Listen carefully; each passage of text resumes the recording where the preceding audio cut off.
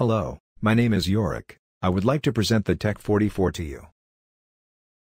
As compressed air systems get older, they may start having rust buildup problems. The TEC 44 is a powerful timer-controlled motorized ball valve, designed to remove condensate from deliquescent dryers, receivers and vessels. The TEC 44 is designed to remove heavy contaminated condensate up to pressure ratings of 600 psi. This condensate drain does not clog up and cannot be blocked.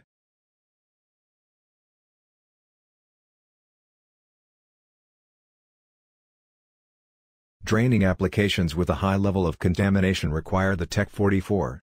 The orifice size is 12 mm and the stainless steel ball literally crushes anything that gets in its way.